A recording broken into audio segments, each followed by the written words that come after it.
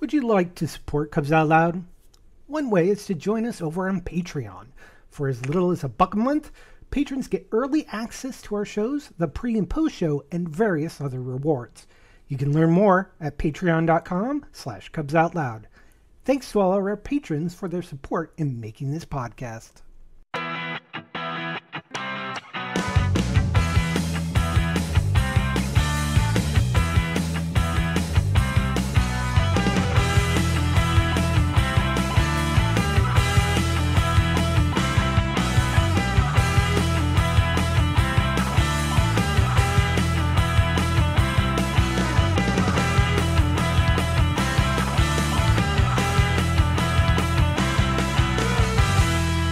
Sunday, June 2nd, 2024. I'm Jeff. Who's your bear? That's right. I am your bear. I'm Damon. I don't brew the tea, I just serve it. And that makes me Gary. Everyone else is thinking it, and I just say it. Welcome to Cubs Out Loud, the Bear Podcast of Indeterminate Length, episode number 740. And for not having done this for about a month, uh, I think that went pretty well. I don't know about you. Just like old Pretty good. times. Just like old. Yeah. Like riding a bike. Yeah, I suppose. Um, yeah, there seems to be a bit of a something seems different.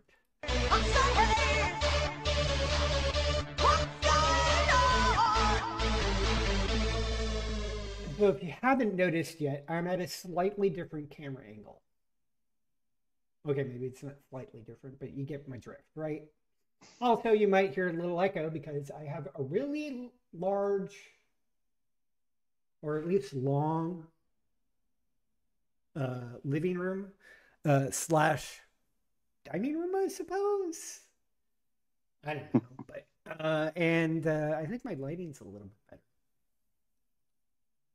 It's not as dark as it used to be. It's not as dark. Yeah. You can also see my apartment behind me because I'm not, not embarrassed with what's behind me this time. Anyway, I got a, I got a closet, and that's my kitchen. And then you can't see anything over that way because my angle, because uh, actually this is one wall of my my apartment, and this is the rest of my living room, and my desk Ah. is is like instead of being at the corner of the living room, I have it like into the living room, so it's actually facing. I'm actually Ah. planning on having like a little bit of space, and then the my futon, a little bit of, and a bit more space, and then my uh, television, and then the remaining space, which goes up right to the windows at the front of my apartment, uh, is basically kind of going to be my utility area, where I'm going to have my where my uh, internet thing will just kind of sit sit there, and I'm using my old dog crate as a table for that, and um, I actually uh, brought my microwave with me from from Austin, and then I told because I totally forgot that well, there's a microwave already in my apartment, which is bigger. so I have the spare one. So uh, once I clean up the the dog crate a little bit, I'm gonna gonna actually put that into it. So I've got the so it's kind of gonna be like a storage unit almost. So um, it'll be interesting once I clean up all this place, and I think I'm gonna put my DVDs against those walls or something. Might have to get an extra little bookcase for a few things. Um, but uh, I have plans. It's gonna be slow and steady wins the race. Um, but uh, I just can't wait until I can afford an actual bed instead of just the futon. Although once I got the futon, sweet dreams for me. Uh, it was so much better than sleeping on the floor, which I did for about a week until I got paid. Ugh. And I got some of my reimbursements. It was great once I got those. Got another set, uh, one coming and get paid on Friday, which should be between those two. I should be able to get a full size bed. So I'm not going king, I'm not going queen, I'm going full, which is a step above twin. Um, because it's just me. And uh, so Hmm. I definitely want bigger than a twin, but I don't feel like I need to spend the extra money for for a queen. I already got the sheets, and I'm using the sheets on the futon, uh, and, which I'm essentially using as my bed. So that's it. So that's just a description of my apartment that I got. I like my place. It's neat. It's first floor. It's even better. Um, but uh, so I had a road trip. Starting on the eighth, I I ditched my old apartment in a sad, sad state. Um, but I had to get on the road in order to time everything right. Um, as I was driving through Texas, I ran into a Buc-ee's. So Mm. to, to visit Buc- a Buc-ee's for my first time. For those who don't know, Buc-ee's is like the superstore version of a gas station. Okay. It was huge. It was Yes. like a little mini market.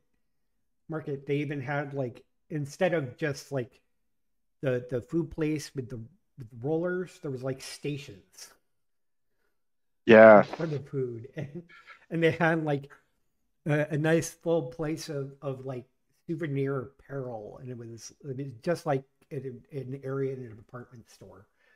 It it was wild, but uh Gary, you're a little too far north for for Buc-ee's. for Buc-ee. I have right. I have not been to a Buc-ee's, but I will say, I have been to some truck stop slash convenience store gas station things that are that are really kind of upping the game. Um, in terms of things, I know it doesn't compare to Buc-ee's, but there was a place I went to. I had to go clear over across my state, and I cannot for the life of me remember what the name it was. It was a chain I'd never heard of, so it wasn't Wawa, it wasn't Sheetz. Those are the big ones in PA. It was a different one, but it was interesting because I came in during breakfast. I had to pick up gas, and I came in to grab a breakfast sandwich, and there was an attendant literally making breakfast sandwiches and wrapping and putting them up, like, and you could request alterations like as they were making it you could say hey could you put like make me one with pepper jack cheese instead of whatever. And they would just do that right on the spot. And i was super impressed by that because most of the places i go to they're already pre-made and you can't see the attendant. They're kind of like i don't know magically somewhere else or everything is mto made to order. So hmm. like this place kind of did both. Anyways but i was i was really kind of impressed. They had a t- lot of different like options. Anyways so i know it's not the same thing Buc-ee's is basically kind of like a, a supermarket from the sounds of it like grocery store it just happens to be a truck stop because i've seen some videos and i'm like okay that's It's it's That's not crazy. it's not really a truck stop, honestly. I don't even Yeah. think they have showers. It's a gas station. Just you're just with a ton of different a ton of pumps, and then just this grocery store little size uh, things, and their bathrooms are really nice. That's yeah, That's cleanest re- restrooms in America. That's why why I stopped at Buc-ee's because I needed to pee. Uh, by the way, I loaded up my car.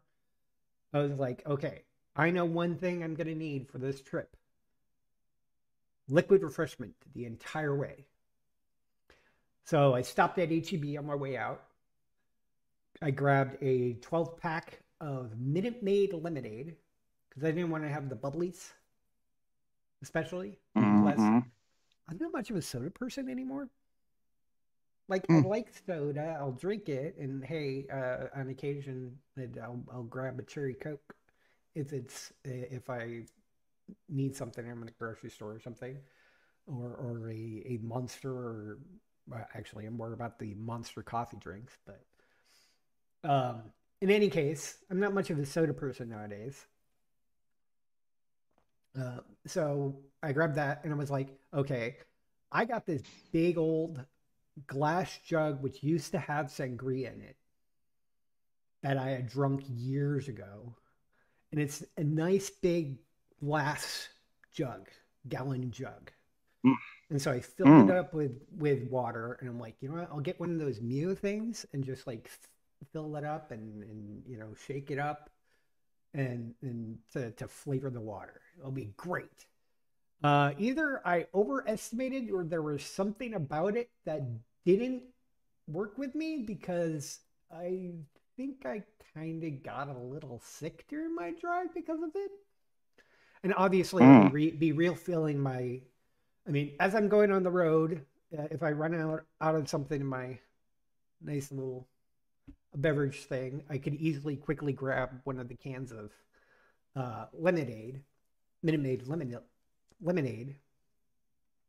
Uh, but then when I stopped at a rest stop, I made sure to take a decent amount of rest stops because you know get up, stretch, pee, that sort of thing. Um, and then I would fill this up again whenever I stopped. Um, but uh, something I don't think agreed with me about that. Uh, and so actually, for most of my trip, I stopped in uh, Texarkana, then stopped outside of Nashville before heading up to Cincinnati.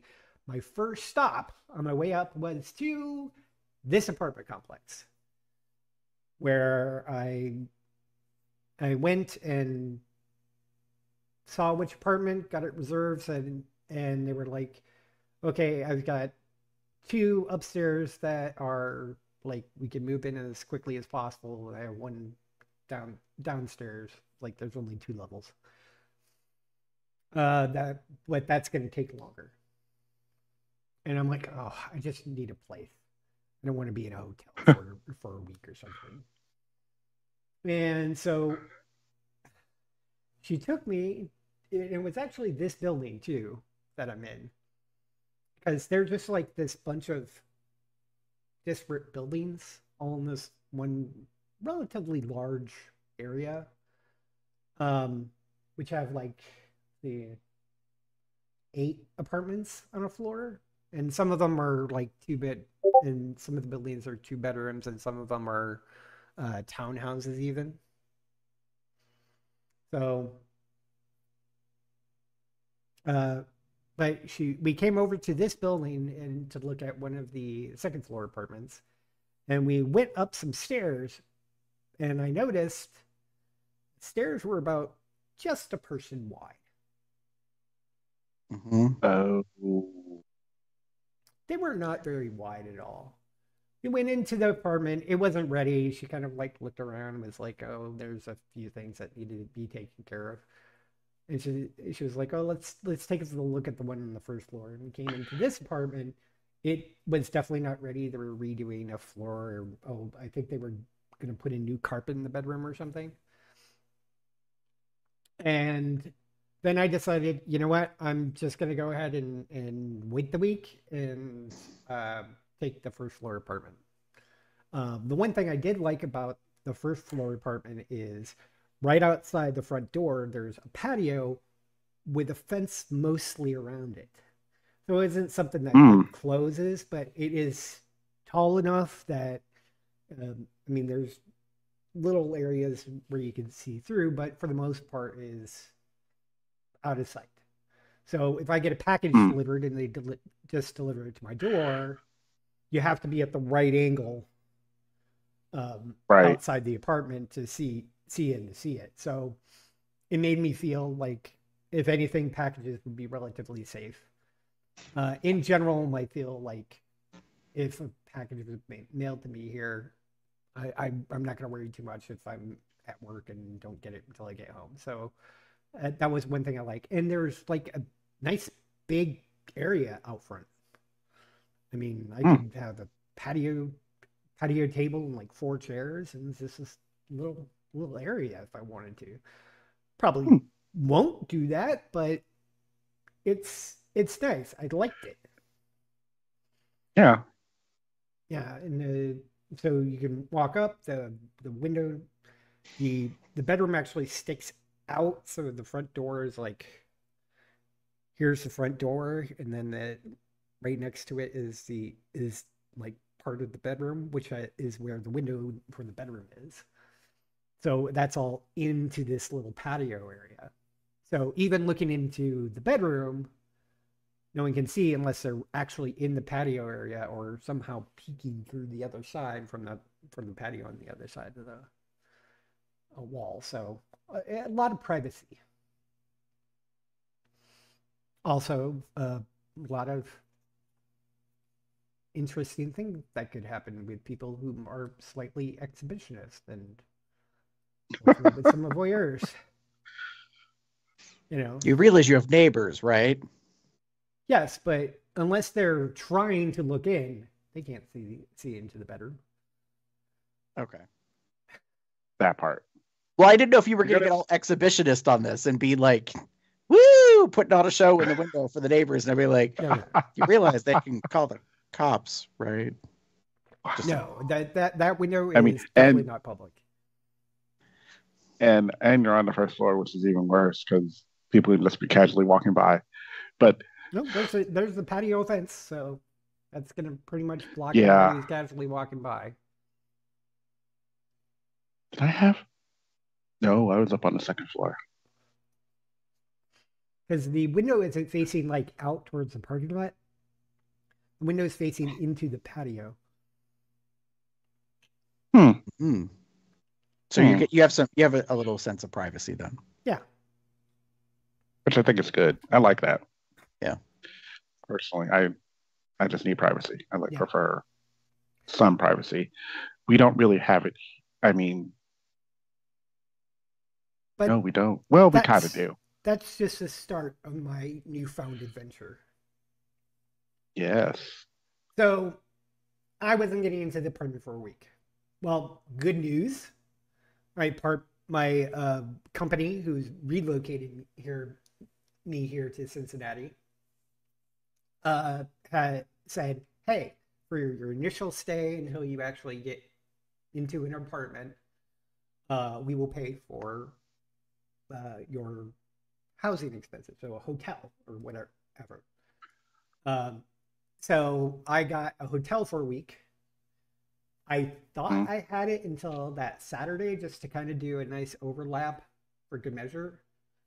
Um, Mhm. But uh, I didn't. So while I was at work, they called me and said, uh, "By the way, we're we, we there's still stuff in your room. Were you gonna move that out?" And I'm like, I, "No, I swear I had it till till Saturday." And he goes, "No, you only had it till today." And I'm like, pull up my my receipt from from when I ordered it, and I'm like, "Shit, I didn't." So I was like, "Okay, you guys are doing this thing. Uh, I gotta go take care of this." So, so Hi. I booked up to my my hotel, paid for another day, and was like, "This was my bad." Uh, that was an extra eighty some dollars. Um, I've been there. to- totally accepted responsibility for it, but they were kind enough to be like, "Okay, if you're gonna pay for another night, great, we'll, just do that. It's fine." Yeah. Uh, so it was fine, but it was an extra expense. Mhm. uh, so that previous Monday, so that Monday, um, the week that I had the hotel was when I had to report to work. So we reported to the office. We took a little tour of the office. Apparently, it's like supposed to be a nature-ish, preserve-ish type thing, where they keep Mhm. the, the surrounding area natural. So like the drive up to the office because it's, it's relatively remote. Um, I mean, it's not like too far off the beaten path, but it, it's it's it's a maybe about a mile drive from the nearest like crossroads into Mhm. into the to get to the actual office. Uh, but all that land around it from like the road beyond is all uh, uh, owned by my company. And so the, it has a speed limit of 20 miles per hour for good reason. Because of how let everything lie it is, there are deer and, and other animals that could be crossing that street at any point in time. So, for the safety of your car and Mhm. the safety of the animals, they want you to drive slower. I will tell you this: no one drives twenty down along there. Yeah. but they probably still are about 30, 35, maybe 40. But, you know, but um, there's a reason why they put that that speed those speed limit signs up. And uh, since I've since I I've been driving to the office, I've seen I had a total of four deer sightings. I'm not going to say I saw four deer because I don't know if they were all different deer. I may have seen some same deer, but there's at least two of them because one time I saw both of them. One of them was in the middle of crossing the road, and as I was pulling pulling up into into the road, I spotted them, and the one was in the middle of the road and just did the Nice. uh, before sauntering off the road. Fortunately, they were even in the it was even in the other lane. But I'm like, I don't know what you're gonna do, so I'm just gonna stop here. Let you do your thing. And then when I saw him move off to the side, I just moved on. It was fine. But yeah, there were reasons. We've seen squirrels, birds. Uh, we've had geese coming around, uh, which made me really feel at home because uh, in Rochester we have uh, a lake called Silver Lake where uh, a lot of Canadian geese roosted. Mm. So I'm very familiar with geese, and I'm like, oh no. But uh, some of them would be like just kind of like wandering around right in front of the office. So a lot of naturey stuff there.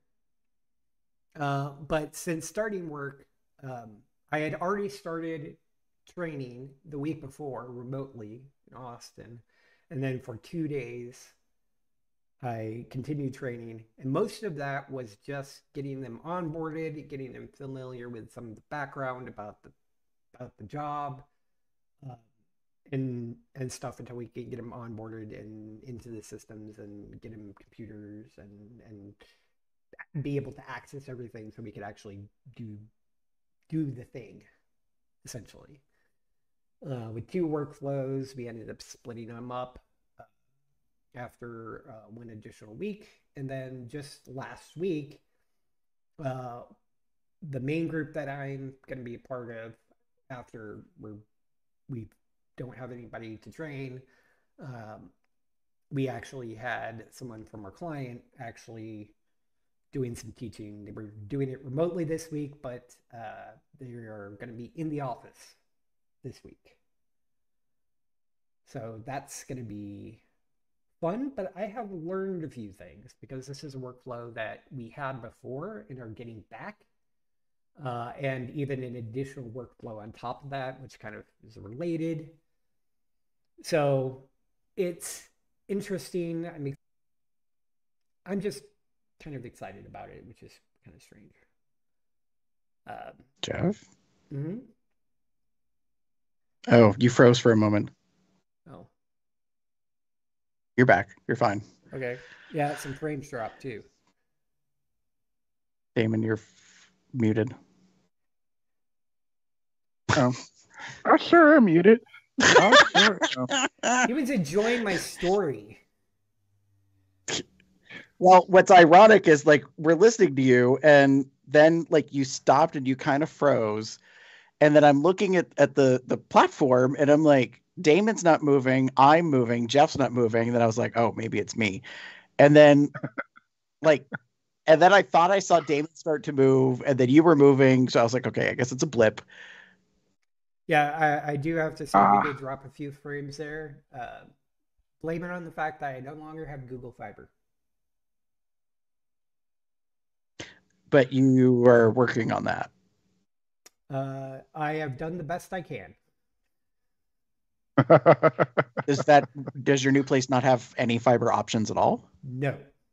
no. Oh. But with the community fee, which is part of my my my rent, I get free internet access, and for ten bucks, I can upgrade it to gig. But it's also cable because it's Spectrum. hmm right. Mhm.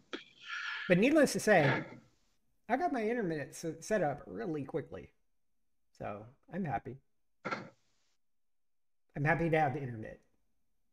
Not that Yeah. it's Spectrum. I'm happy that I got internet set up quickly. Yeah. But was and it was able Huh. to upgrade it for only ten extra bucks. Yeah, fair. Hmm, that's unfortunate. So I came into this apartment with practically nothing. Uh, most of my stuff was actually uh, shipped to one of my coworkers uh, because Mhm. they were coming before me. Uh, Mhm. he, he got a house up north, um, so he could easily stow th- have everything stowed in the garage. Uh, so it took me a couple trips to bring stuff in. Um, just this past Friday before work, uh, when uh, one of our managers had finally uh, got in from Austin and moved up, and her truck got here, she offered to use her truck to help haul some of the bigger items, which were pretty much just my bookshelves.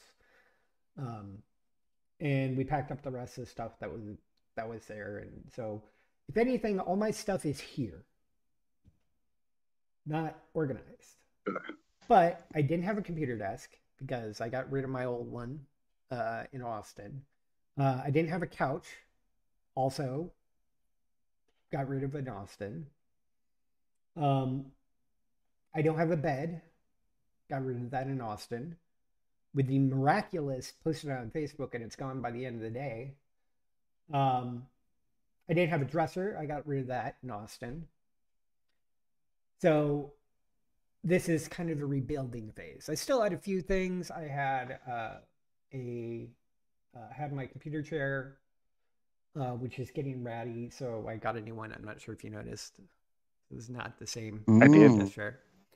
Um, Yeah. I have my tray tables. Uh, I have my um TV entertainment center. Uh, what else? Yeah, that's pretty much it for furniture. Oh, I got a couple of lamps, which is actually what's lighting me right now. Mm-hmm. Um, and so I pretty much have no furniture. So the first thing first was getting putting in my reimbursements. So there are some things that need to be approved before they can be submitted for reimbursement. Um, Right. and, uh, that is pretty much the amount for movement of household goods and uh, any lease breakage stuff. But then Hmm. there's, I get reimbursed for mileage, and all I need is a Google Maps, and I and it should be from like starting location, which would be my apartment in Austin, to my location here, so to my apartment in Cincinnati. Came to about 1,100 miles plus or something, and they would pay me 67 cents per mile. hmm That's the government standard rate. Mhm. It's the IRS like Yep. mileage rate, which is Yep. good. And so that gave me about 700 and some dollars. Nice. Uh, so that I could submit right away. Didn't need prior approval. I just need to submit. Uh, my hotel stay, I could get reimbursed. So I was able to submit that. That was uh, 440 some dollars. And then on top of that, they have called the settlement allowance, which is 200 bucks. That's it. Nothing. I could just claim it. I didn't need a receipt. I didn't need nothing. I just claim it. Well, Because, I, I mean, the only thing I needed was an approved relocation request, which I had already gotten. Yeah. So I was able to I mean- all that, and that's about $1,400 right there. So with that, Take what you can get. yeah. yeah. So with that, I got myself a new computer desk instead of being just this little triangular-ish quarter desk. I'm like, well, when I got that, it was the time of single monitors, where in general, one only uses one monitor. Well, I have three. I added one more to my my desktop, so I got my two desktop monitors, and then I uh, during the pandemic when we were working from home, um, I kind of got used to having an external monitor for my for a laptop for work, and I decided, well, hell, I like this setup. I'm going to use that for my own personal MacBook, which I ended up getting in the pandemic because I saved a shit ton of lot of money and got myself a MacBook, which is how I edit this podcast. So now with this, I've got a monitor here, here, and here. I got my laptop I put on one of my uh, uh, tray tables that I have over here. And that kind of um, because of how big my desk is. I was hoping it would be a little bit bigger than it actually is, but it's fine. It's acceptable. The one thing I don't like about it is I think it's two inches too tall. Mm. The my chair right now, yeah, my chair right now is up to full height, and I'm like, so Oh. uh, I still it's it's usable. I, it's just it would be better if I don't know. Maybe there's a way to to get something to like hang down my uh, my uh, keyboard and mouse I can have like right below the desk. Because my last one I had a, like a little slidey thing that I could hmm have my Yeah. keyboard mouse Yeah. tray down. Those you can pick those up relatively decent for aftermarket. Yeah. So might have to look into that to make something that's a little more comfortable. Uh, I was a little disappointed because I was hoping I would be able to put my my gaming Mac mat on here, but it's too big. But it's fine. Uh, I like it still. It's pretty. It's black. It's also got. Uh, we didn't turn them turn them on. Come on, there you go. I got some. You can't see it here. Okay, it also has I can. some lights. We can kind of see. Can you see, can you see Yeah. a glow? Oh well, you guys probably. Yeah, I can see it a little bit. Let me let me, let me move the camera for the audience. Uh, use my other. Ah, Uh, there we go. So we got some some little lights here under. So if I I game and decide to turn off my lights and decide to go dark, uh, there's still can be a little light. I set it to green because I kind of wanted to see my my living room in a green theme because I wanted like a red and Mhm. black for my my kitchen. My bathroom would be themed blue, and my bedroom would be black because you kind of want it dark in the bedroom. And then then here I'm like, what color? Well, what why not green, life, living, that sort of thing. Yes, I'm gay. I have to be have a theme. mm. So it's it's been so I had to put that together last weekend. I did that and oh god, was I exhausted. Also that same day I ordered a futon from IKEA. Which was delivered the same day my desk was delivered. In addition, my mother, the kind soul that she was, had offered me when she was last in Austin to visit me, she said said you know, it's like every year we do this thing. We were thought, why don't, why don't we get you a new piece of furniture? And I'm like, hey, mom, can I take you up on that offer? And she looked, she was looking at my uh, uh, wish list where I kind of like saved which of these items, like the desk uh, was something from Amazon. Um, the futon wasn't because uh, I ended up getting that from IKEA. It was only like 250 bucks. It was great.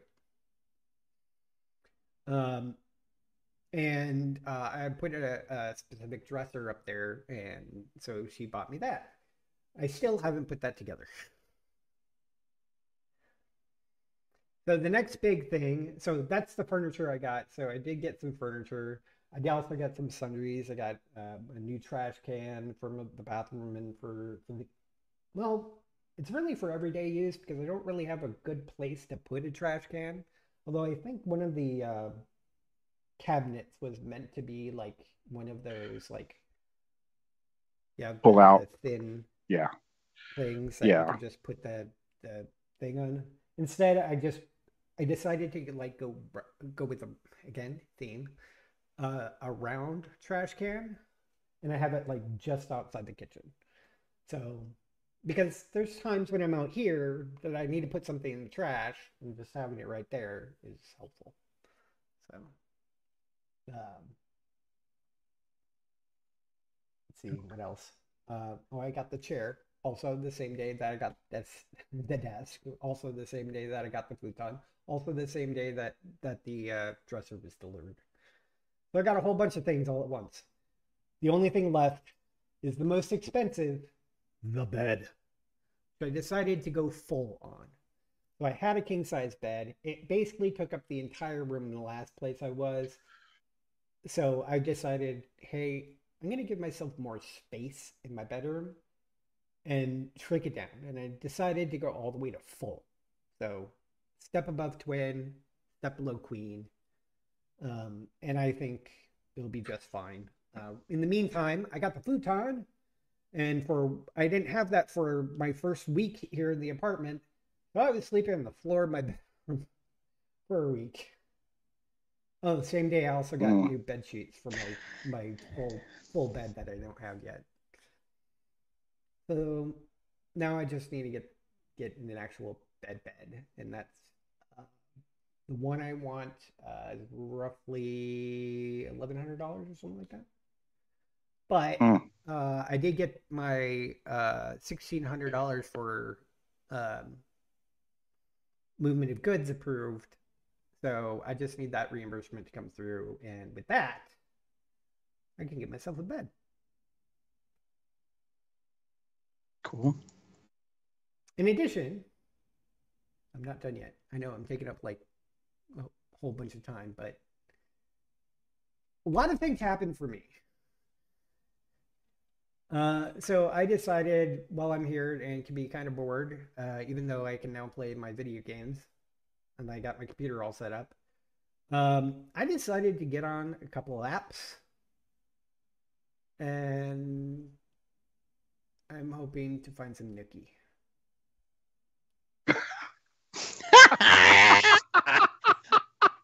All right, I've been honestly, I've been wondering when that was going to happen, and I don't mean when it's going to happen. I just meant when you were going to bring that up. and it's funny. I'm gonna okay. So you're in Springdale, Mhm. correct? North side of the city.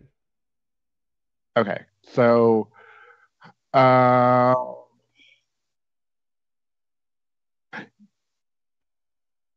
good luck for someone close. I'm just gonna put it out there. Um, because you'll you'll have to unless you're okay with certain things, you're gonna have to go through a few layers of of things. There's there's a there's a lot of DL slash married guys in like North Cincy. Um, a lot. Um, uh, well, technically all over, but 26 year old. I mean, He was like, if it's not is, married, is, is there a, rob, a problem? A problem with me being 26, realizing how old I am? And I'm like, oh hell no! It's just more reason for you to call me daddy. or I was just going to say, like, if if you don't care about that, I mean, you could totally play into that. So, I mean, absolutely. Oh, we talked about that. And and Oh, remember also, that window?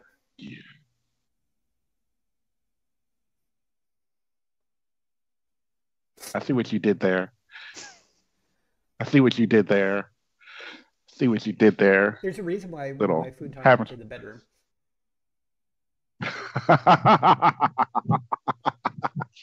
Look at you go. Have fun with that. Be that be that be that fresh meat, that new kid on the block. In that yeah. general, in general, he kind of uh, uh, suggested it. There we go. But for those of you who check, this will be the first time that I played with anybody in years. there's nothing wrong with that.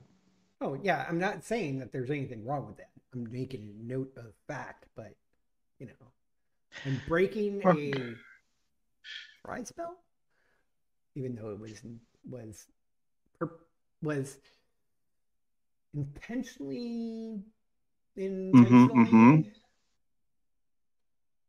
made by myself. It, it's all my fault in any case.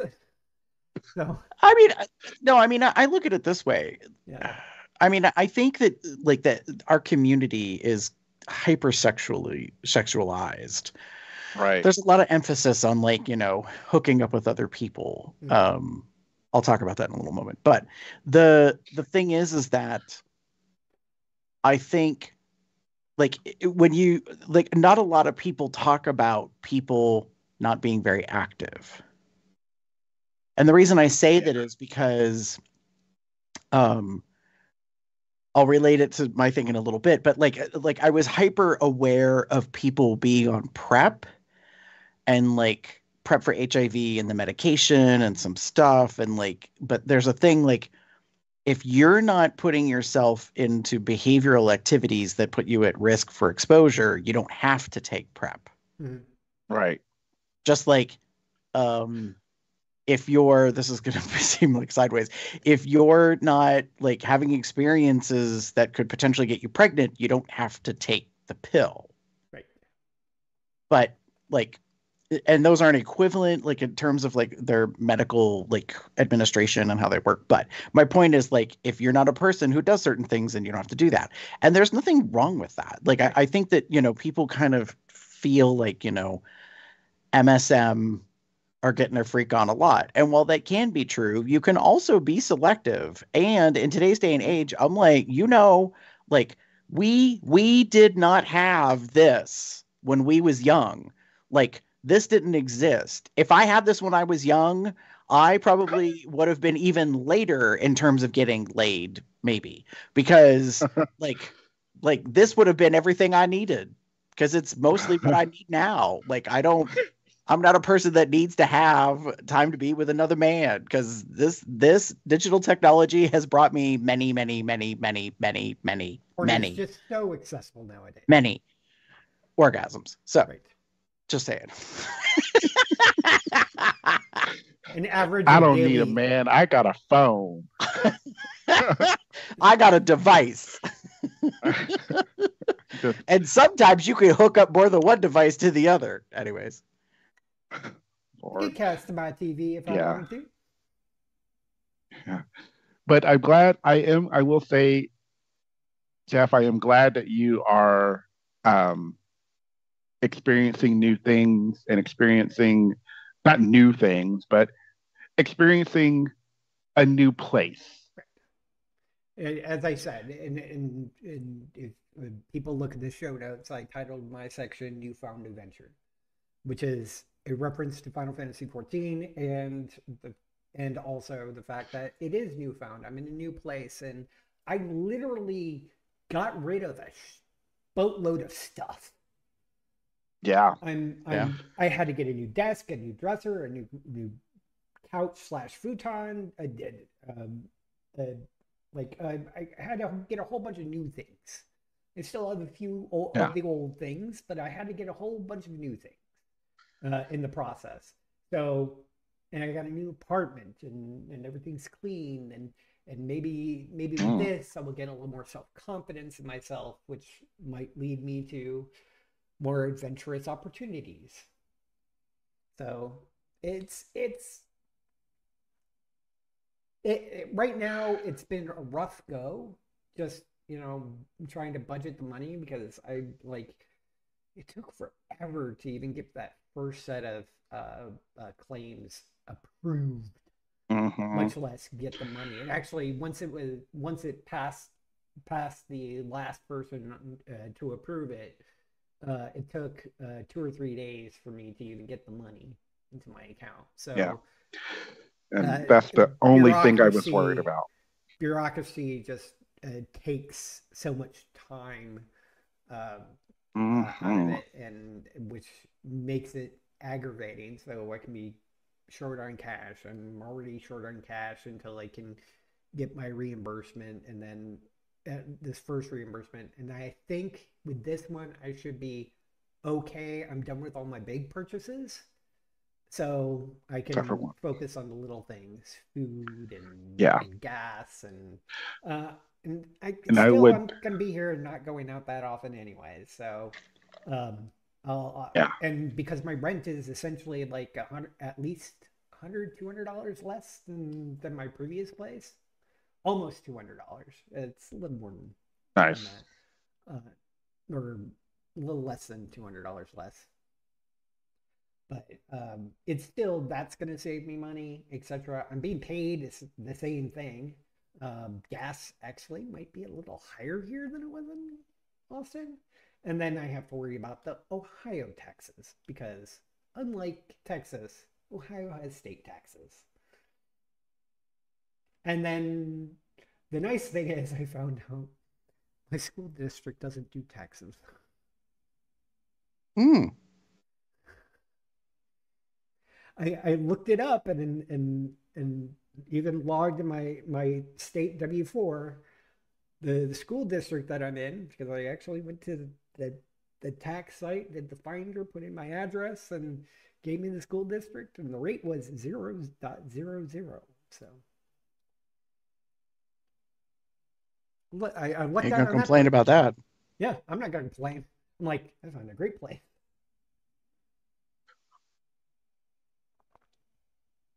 So new newfound adventure for me. Damon, Woo. Okay.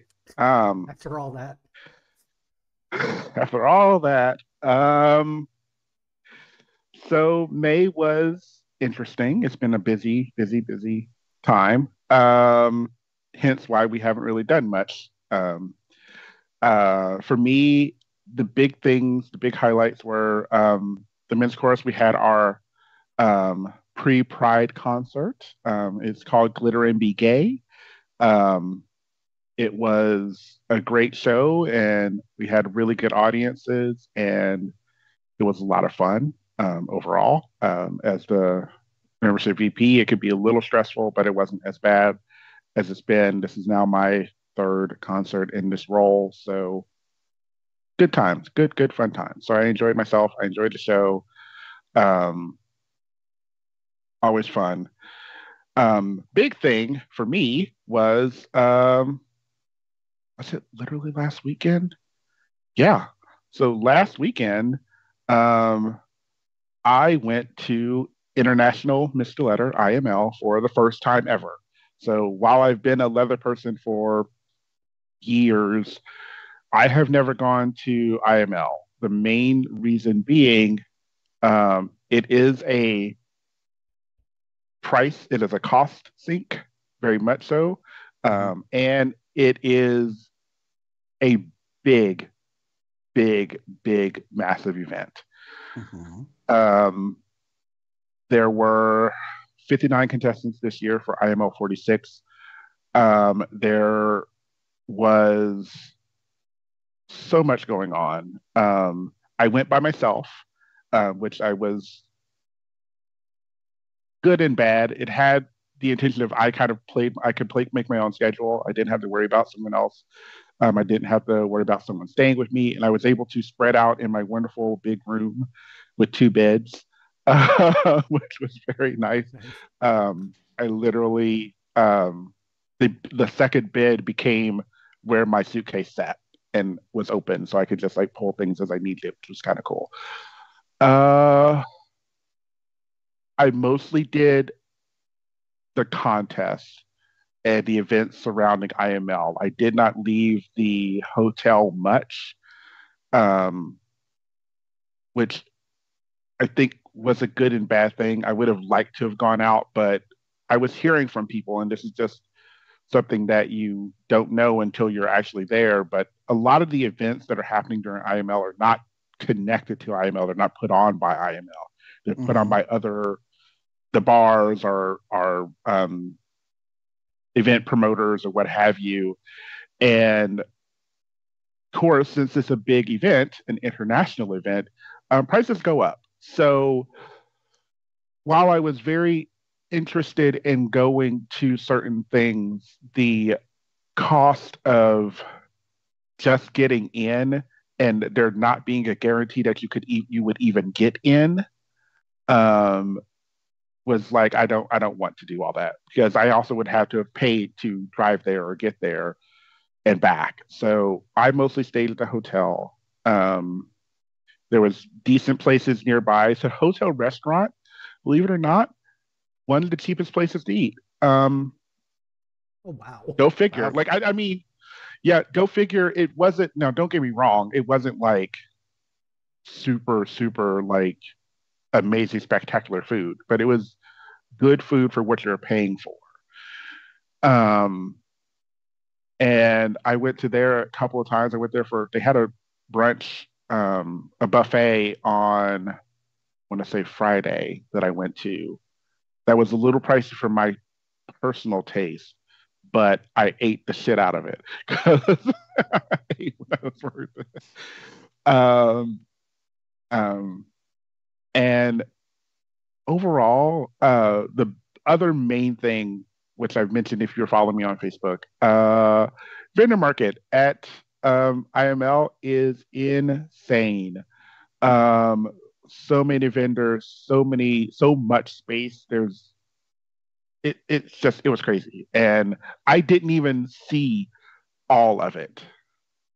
And I'm kind of glad I didn't because I probably would have spent a lot more than I did. Um, but yeah, and the contest, it was great to see the contest, which was one of the main reasons why I went, was to see and experience the contest on this side of it to potentially be on the contestant side of it in the future. Don't know if that'll be a thing. I'm not going to put it out there as a yes or no yet. I'm just saying it was good to see. Um, I will admit it looks like IML has their shit together. They've been doing this for many, many years. There is a cycle to everything. There is a a a process that gets in place. I have to believe they have amazing stage management and production crews out there because things were on. Um, you had the contestants coming out on stage and they've got 59 fucking contestants, so they got to go through them.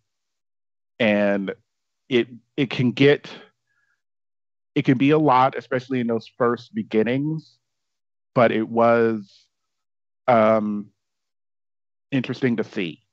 Um, the 59 contestants, all of the contestants go through Friday night, oh, Thursday introduction, like getting their numbers. Then they have the and personality on Friday. Friday and Saturday, they do interviews. And then on Sunday, they take the however many, this time case it was 59, and then they, you get a top 20. And then those 20 are the ones that continue on to do their speeches and um, physique showings. And then out of that 20 is where you get your top three, your IML and your first and second runner ups. And it was it was a joy to see the contestants, all of them put everything out there and it was it was it was a, it was a grand experience. Um, I was I would say a little overwhelmed, and I could see feel that overwhelming coming often, just because of the amount of people and the amount of things going on. And on the flip of that, though, there not being a whole lot going on, which is kind of weird.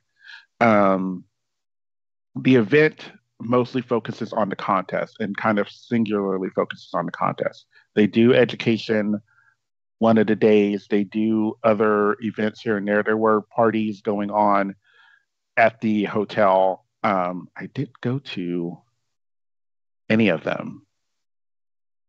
No, I didn't. Yeah. I went to opening ceremony and that was it. So, yeah. It's a lot. It's a lot of fun. It's a lot going on. Um, I, if you, again, if you follow me on Facebook, I spent a lot of money and got some really great stuff. And I now have a formal um, leather outfit, a kilt and shirt, which I really like, Mhm. and some other things. Yeah. And um, yeah, it, it it's great. I, I'm I'm I'm not going to be happy here in uh, a few weeks when I have to pay the credit card bill, but um, but um, I would say overall it was worth it to go. Um, and I know now what to potentially prepare for in the future should I go again. Um, I would like to go with someone, if that makes sense. Um, Mhm. Having someone there would have been nice to, lack of a better phrase, reel my ass in when I'm like, I need to buy that and that and that and that and that. So, yeah, good fun times. Gary? Um, so this month was a lot of travel. A lot of travel. Yeah. So much travel. I traveled three times this month. And by travel, I mean like I left my hometown, had to go somewhere for a couple days, and come back. So, yeah, there's that. Um, and it was all perf- related to work, part of work. Um, you know, uh, so you try to figure out what it is that you're doing in Mhm. that in that time frame and make it all happen um, which is ironic because i just got my new car new so to speak um, you know two months ago. So yeah there's that. Um, so you you try to figure those things out. And it was enjoyable. Sorry i'm doing something really quick while i'm talking to you about this because i just realized i don't know what this is but if i do this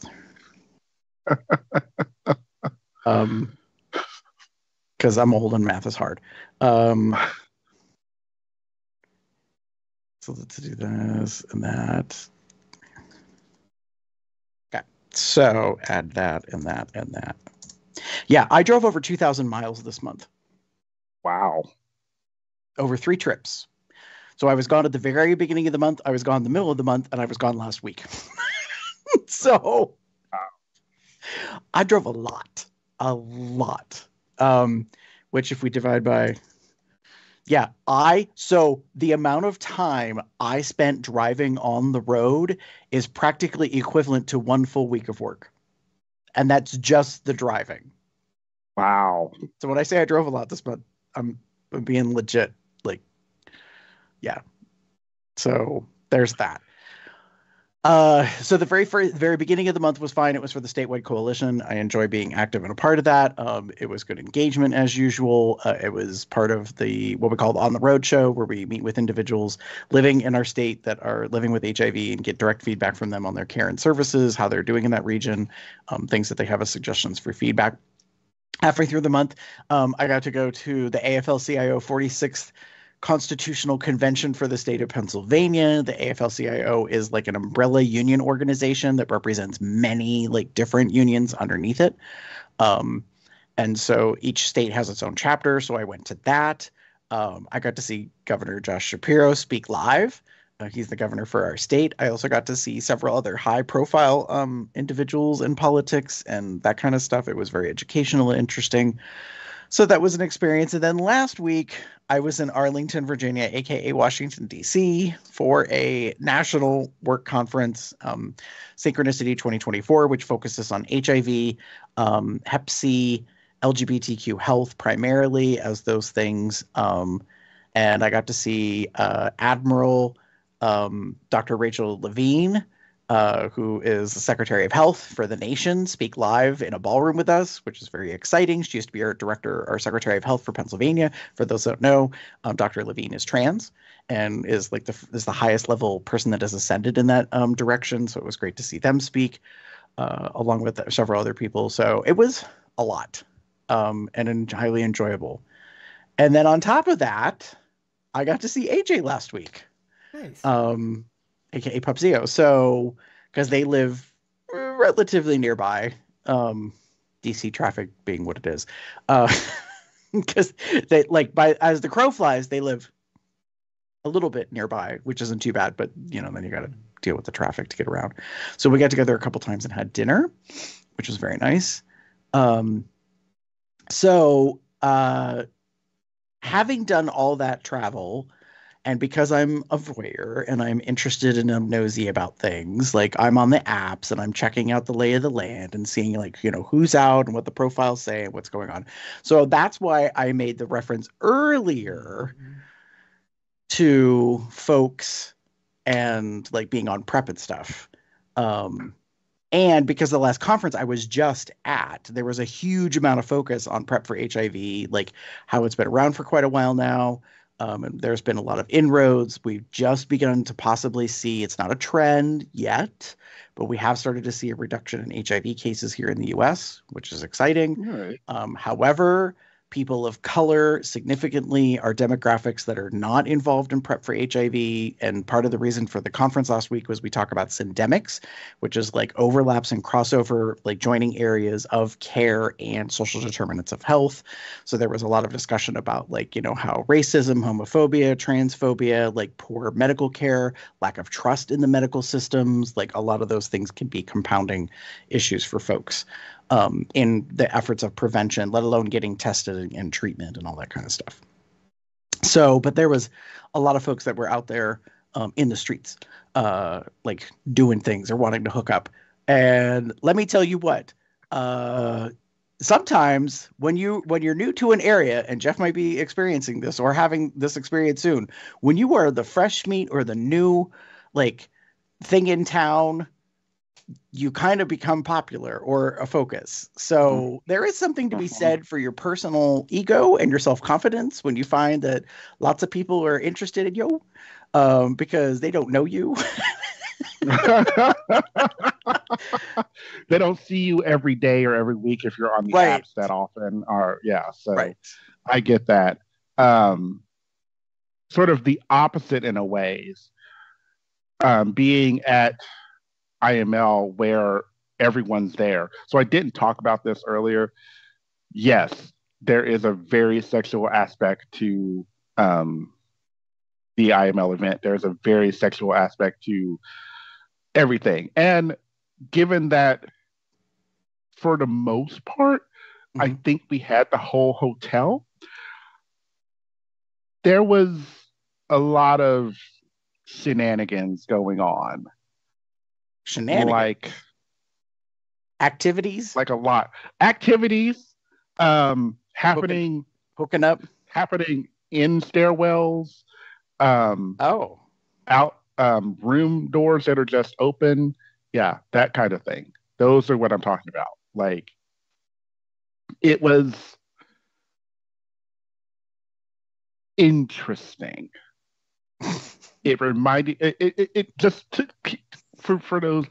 It reminded me in a sense of a bathhouse, but it wasn't to that extreme where like all the rooms are open kind of thing. It was just there's a there was a lot if you were on the apps. If you okay, if you were on the apps at IML in Chicago, if you wanted something, you could have gotten it. Like anything. And considering it's a fetish, uh, a lot of kinky folks out there. Mm-hmm.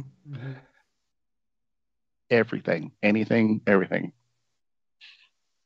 Yep, yep, yep, yep, yep, yep, yep, yep. Well, yep. let me just say this.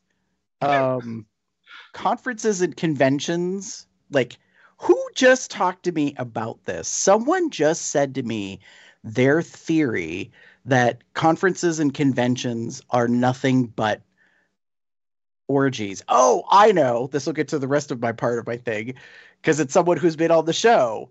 Um, said to me, their theory is, is that like conferences and conventions are nothing but profession. What is it? Professionally masqueraded sex parties. like, and I found it really interesting because their point wasn't that far off. They're like, really? So the National Realtors Convention there's no sex happening there.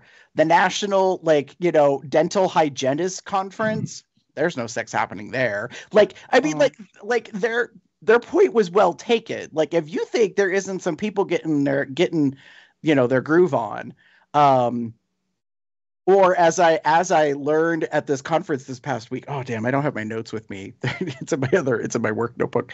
Um, people just be living, like, or, as the youth now say, uh, life be life be lifing. Um, and the thing is, they're just hooking up. You know, they're they're doing their thing, and I found that very interesting when I was at a con over Memorial Weekend. This person who's been a guest on our podcast had said to me, you know, about no, they're like any any reason for a, a group of individuals to get together at a hotel. There be there be some there be some of that going on It's definitely shenanigans. which yeah which i thought was a, a fair assessment a, a thing to say. So yeah i traveled a lot. Oh my god i didn't even include that in my math. Okay so i drove more than 2000 miles. I drove close to probably 2500 miles. I forgot about the personal trip that i took which was unrelated to work. And that is related to my second part which is the question that some people have asked am i a furry? Wait, we're going to need some. Yeah, we're gonna need more context. We're going to need We some some clarification. Well, the context is I went to Anthrohio. Ah, So, for those that don't know, Anthrohio is a furry con convention that takes place in Ohio, um, and it was in Columbus, Ohio this year. I think it's been in Columbus um, for a number of years, but uh, I decided to go because I know someone who's heavily involved. Y'all know them too. mhm. and uh, I decided I wanted to surprise them and be supportive. Aw. So, those of you that recall, we had a co-host Chester, aka Shutter, who was on the podcast, and um, since he, you know, uh, has been doing his thing, he has become uh, very much involved in the furry scene in Ohio. Um, and I had a very interesting conversation. Um, shout out to to Dozer and Burlick because they were at the at the con, and I got to see them. And uh, it was actually Dozer that was the one who made the hypothesis, the theory that you know these professional con can conferences or conventions are nothing more than like sex parties. But um, and God bless, I love Burlick because we spent yet again a couple of hours sitting in a hotel having an in-depth conversation about life and its meaning and everything in between. And in the midst of that was, you know, this crossover between the furry community and um, the bear community, the pup community, the leather kink community, um, and like a lot. I mean, we discussed a bunch of that stuff. So, what happened was I knew that Shutter was going to be there. He's a photographer. He works in, I think the, I think they call it the publicity department. Um, and he has become much more active. He's been doing um, fur walks in Columbus. He's been organizing activities, some charity focuses, having dances. Like he's really thriving in that arena. And you know, as part of part of chosen family, I knew that like this was a big deal that the con was coming up, and I knew something specific was going to happen towards the end of the con. So I decided to go. Um, I didn't tell anybody ahead of time. I was like, okay, not a big deal. I've traveled a lot for work. I got extra points for the hotel thing. I am not going to try to stay at the host hotel because I knew it was sold out. Um, so I got a free night at a local hotel, drove down, and had timed it that I wanted to get there before registration closed on the final day. Because for Anthrohio, for their con, they do day passes plus like a whole weekend thing. So I was like, okay, I'm gonna like pay the day pass, yada yada. I unfortunately didn't pay close enough attention to the schedule. I didn't realize until I was on the road I was going to get there an hour after registration closed. Oh. So I was like, this could pose a challenge because the thing I wanted to go to was the closing ceremony. And in order to get in, I would need a badge, which means I have to be registered. But if registration's closed, then I might not have a badge. And this could Mm. like get all kinds of weird and awkward. And because I was trying to surprise Shutter was showing up, I didn't tell them or anybody. So I'm like, I, but I got my registration. I got my email. It says if you need anything, you know, send an email to this email address, which I did. I didn't hear back, which is sort of not a surprise because it's the end of the con, like they're busy. So I show up, park at the hotel, get a parking spot, come walking around. I go walking past part of the lobby to get to the double doors, and I see a bunch of fur folk, like you know, in the the lobby area, and I was like, "This is the place." Um, and and and I've been around the furry community before a little bit. Um, I've always been like a friend, you know, kind of adjacent thing.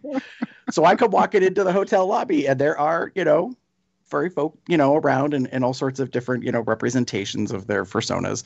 Um, and so I go to the left to walk around the lobby because I remember seeing it said you have to go to this room for registration. And I don't know this hotel, I don't know the layout. So I'm like, okay, so I hang left, sort of towards the front desk, and I go to walk. I get halfway across the lobby and I look to my right, and there's Shutter sitting at like the hotel bar kind of thing that's right in, off the lobby, facing the lobby. And they're just sitting there and they lock eyes on me and they're like, and they just kind of cock the head and throw their hands up like, what the fuck?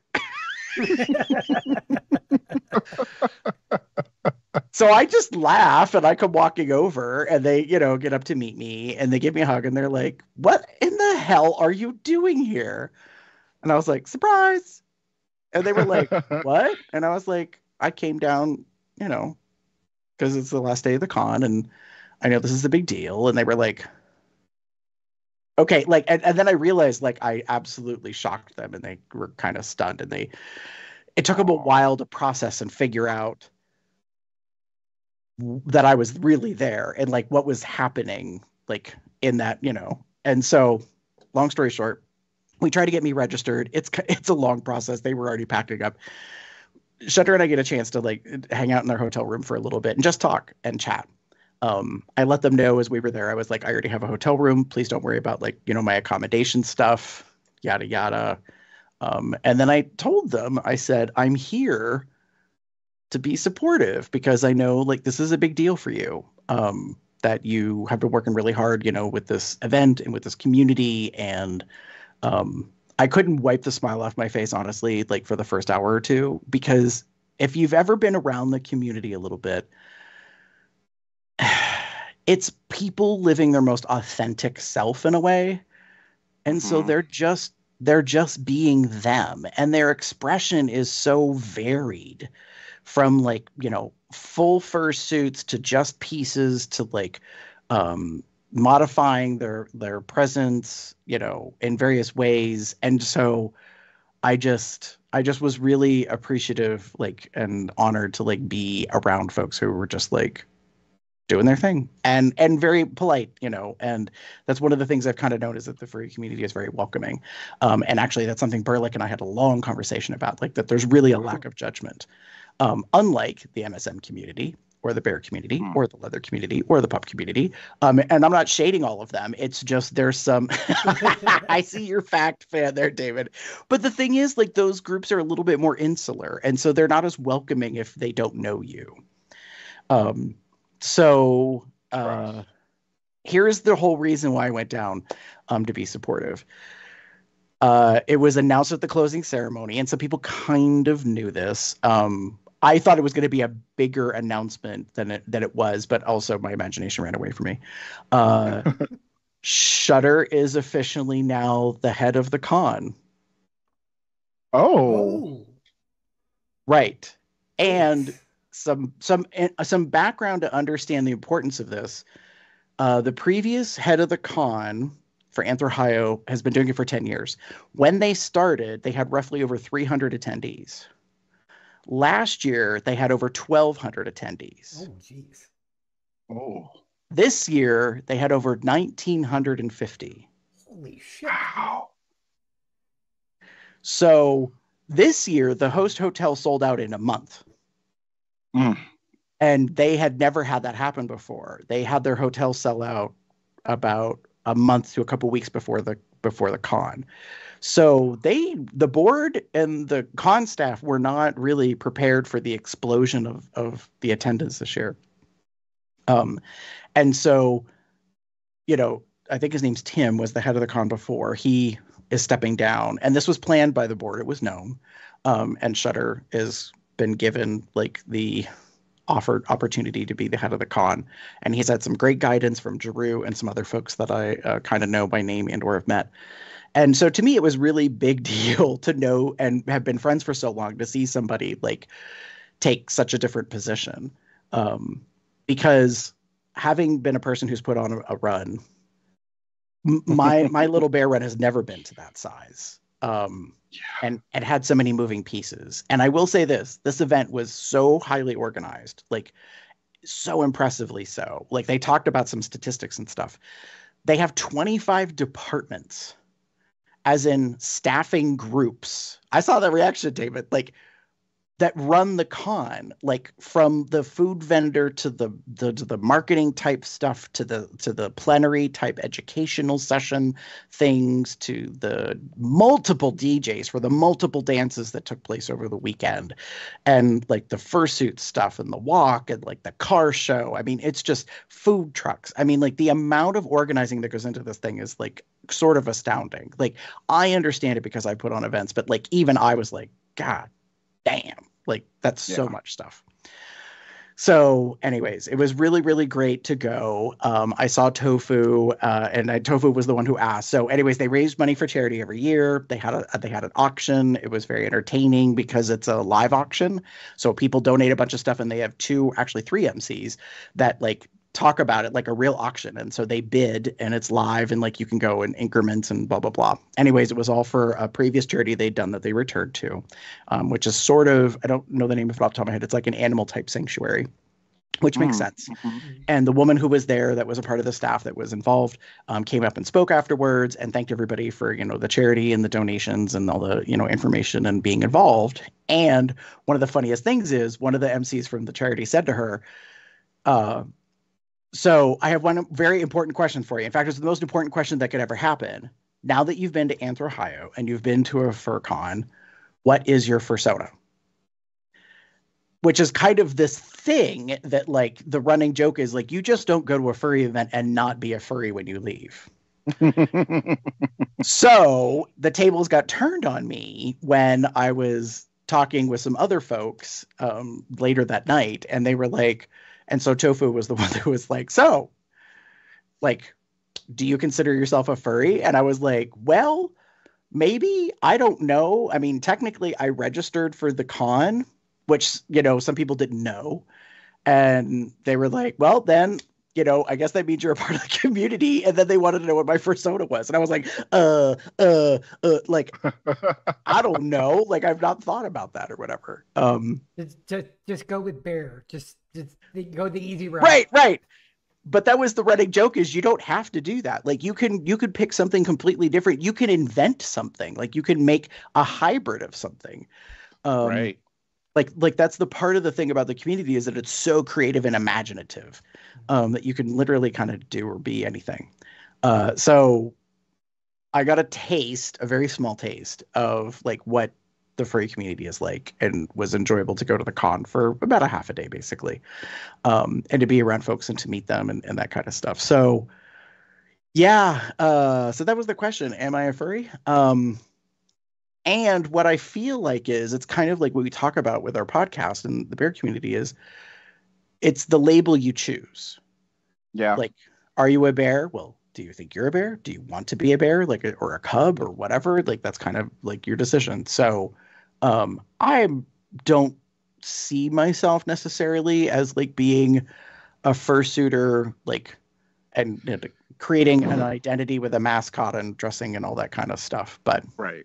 who knows anything's possible um so yeah like it was a very fun experience to go and to see folks in um in that environment and to be there uh, to kind of see like the changing of the guard so to speak and um for shutter to now become the head of the con um Mm. to which I messaged them the very next morning because it was funny. I, they were like, "Well, you know, when do you leave town?" And I was like, "Well, actually, I got to leave at like eight or eight thirty because I have to get back home here for a meeting in the afternoon on the holiday because it was Memorial Weekend, um, and I've got some other stuff planned, and then I got to leave town the very next day for work to go to this conference in DC." So it was kind of a tight window thing, and they were like, "Oh, okay," and I'm we we made plans. I'm going to see them soon but uh, it was really comical because the next morning I texted them as I was leaving Columbus, and I was like, "Welcome to your first day, Mister Head of the Con," because I knew, like, I know how it works. Like, like you don't really get a breath. Like as soon as this event's over, like you're already working and planning on the next one. And given that they had such un- unprecedented like turnout and support and all these things that happen, um, yeah, it's it's one of those things. So, but I'm very excited for them. It was a good experience. It was a very busy month of May. Oh, and I forgot in the midst of all of that, uh, we had our HIV/AIDS awareness walk. That also happened Yeah. in the midst of the month. So, uh, June, now that it's here, is going to be a little busy. Um, just as a forecast, I have a speaking engagement. Um, we're doing a dinner symposium with HIV providers locally here in town. I've been asked to be a part of that. Um, so I have a small portion that I'm going to be speaking. That's coming up this month. Uh, I will be going back to Columbus for Columbus Pride, which is one of the largest prides in the Northeast region. Um, and then also, I'm going to be traveling uh, for a one day conference down south of here, uh, probably with some coworkers. And then we have our own Pride Festival happening at the end of the month. Hmm. And then we get to July. And I think July is when I can kind of start to breathe. Um, so, yeah. Good luck. so it gonna be busy. But I, I knew May was gonna be pretty hectic.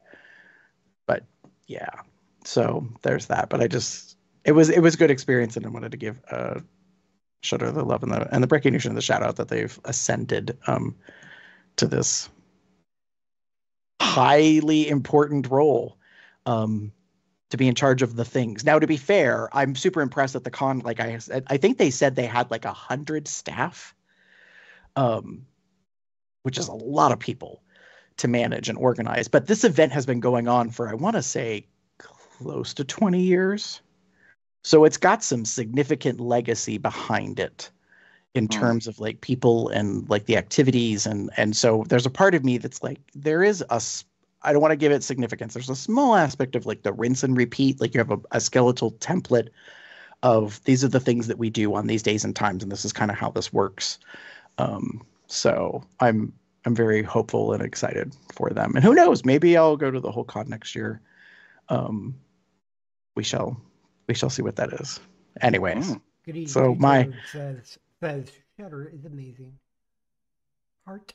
Aw. That makes sense that actually I gotta remember Toad where you live. But it makes sense that so this is the thing about the furry community. I kind of get the impression that a lot of the furry community is aware of each other. I'm not gonna say they all know each other, but they are aware of each other. Um in some aspects. And like so one of the biggest furry cons is actually coming up July 4th weekend, and that's in Pittsburgh to the south of me. And I know some Mm. folks that have gone to that. Um, so I am not necessarily planning on going to that, but I thought you're a Who knows, furry. maybe that's you my- should go. well, I was just gonna say maybe that's my new thing. Maybe I just pop up unannounced. you're, you're That's a an idea. furry. Surprise! Furry. I will say, like, there was some impressive um fursuit fursona kind of things. Um it's interesting because some people were really impressed with certain things and they were talking to me and they're like, oh my God, like blah blah blah blah, there's this thing. And I was trying really hard not to be that con- unintentionally condescending jerk. Um, Oh. Adam Savage just gave this great YouTube talk about like about being condescending when you don't mean to be, and he was talking about how like if you're on the spectrum a little bit, like that you don't realize when you're talking to someone that you might like be a little emotionally disconnected, and to you, so you're Mm. talking to them very factually, and you don't realize that maybe what you're saying is sort of a little offensive when you don't mean it to be um, and I found that interesting because they were talking to me about like this technology of like a fursuit or something or whatever, and I was like, right, and I was like, well, that's kind of like this and this that can be done in drag, and I wasn't trying to equate them. I was just saying like, yes, like there's a ton of of possibility out there in the creativity of things. Um, you know, Damon, we just saw a couple weeks ago like a drag queen that used LED lighting as a part of their outfit on the Right. runway and that's the, the sort of the equivalent they were making and i was like yeah i was like and uh, and so looking back on it i'm like oh yeah like i i need to be a little bit more temperate about that to not seem like i'm being dismissive of someone Right. else's like trying to help me understand something because to me i like it was very like yeah i already know that but they don't know me and they don't know what i know and this is not my landscape so to speak Right. so there's that. But yeah it was uh, it was good it was fun. So you know and uh i think that's it for me for the the month of may. Well, all I gotta say is, go on, girl, Miss Janet.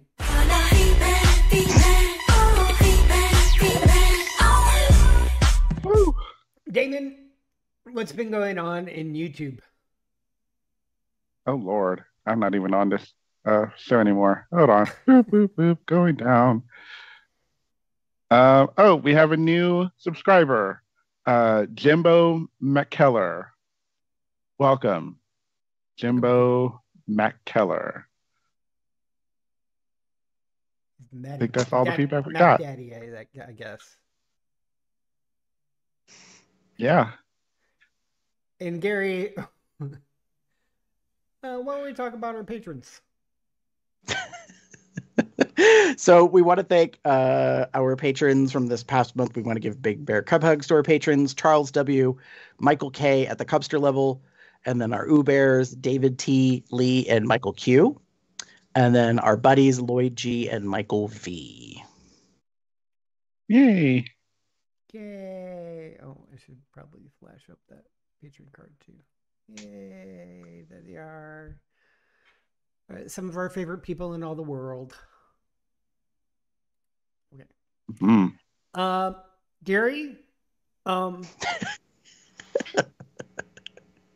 something feels weird, but also oddly uh, reasonable, considering everything we just covered. Uh, Right. out of how many weeks were in, Sundays were in June? Four. We have June, I think you mean May. May. We have four or five. Uh, there were just four. Okay, so we, Mhm. we, we were halfway there. Um, we we really appreciate the support of our, all of our patrons. Con, considering we had a couple of off weeks, right? so yeah i mean let's talk about it like so the recent shows for this for the podcast were um, we had col episode 739 the what's going on for the month of april of 2024 uh, and then we took a hiatus. And the plan was jeff you were moving across town. For those that don't know about some of the magic oh behind no, the I scenes. Cross across country. town. sorry sorry. It's a, it, it's a cross town. It's not a big deal. It's only another whole other time zone. Um anyways Jeff was moving- yeah, he was moving from Texas to Ohio, uh, from a red state to a purple state, uh, as you will. So the the thing is, um, we kind of knew about that. So if you went back to seven, is it seven thirty eight? Let me double check. Uh, yeah, to seven thirty eight, the Western Exposure interview. Our interview with Wes from uh, Western and Eastern Exposure was actually uh, live, but we had pre-recorded the April what's going on before we even talked to Wes. Timey wimey, and then we intended to be gone for one week, possibly two if we needed it. Um, and as it turned out, it ended up being pretty much the whole month of May um, because Damon and I were going to be away for part of Memorial Weekend. Jeff was still getting acclimated and set, so we did a flashback episode last week to 556, which was not that long ago. It was just four years ago. It was May of 2020. Yes, that's right. It was in the midst of the pandemic. Um, Yeah. And I actually listened to that in the car while I was driving because I thought it was funny to be like, how crazy did we sound when we were in the midst of that? Um, as a quick recap, uh, Jeff and Damon weren't working and I was. Uh, so, were you? Yeah, I never had a had time off. I was just Oh, I thought you from were- I- home. Oh, well, that's fair. You didn't really talk about it in the episode, so I know Damon had been furloughed and I was busy working on COVID. Mhm. So I, I feel like I was the only one working during that time because it was a public health emergency. I but mean, to be fair, I really cheated a lot during that time because um, my regular computer was just over there, and I had a laptop. hmm So I could have my laptop and be working. Well, Right. Well, also- Yeah. Well, I can understand that. So that is all to say, we were gone for pretty much the month of May.